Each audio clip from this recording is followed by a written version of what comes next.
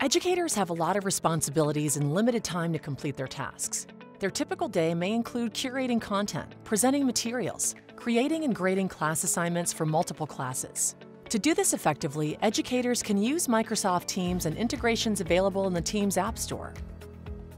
In this video, we'd like to feature a few apps, such as Wakelet and Pear Deck, that can be used to enhance the classroom experience. Let's look at the day in the life of an educator using Microsoft Teams. The educator needs to curate marine biology content for his class. Using the curation platform Wakelet, he can create a content collection of videos, articles, and more from the web, and pin his collection as a tab within Teams by copying the URL and pasting it to the Teams channel.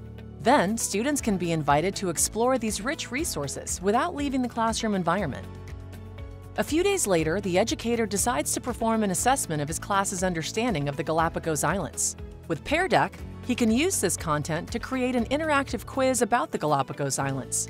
He pins the Pear Deck by going to Add a tab from the Teams menu and selecting Pear Deck. Here, he can check Post to the channel about this tab, so students know the quiz is starting.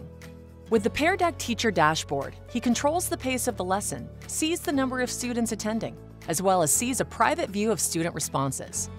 Students' understanding of the lesson can be asked through a bell ringer question using the Pear Deck sidebar. Based on these responses, the educator can provide additional information through videos, web links, and more. Students can have a rich and engaging learning experience through Wakelet and Pear Deck.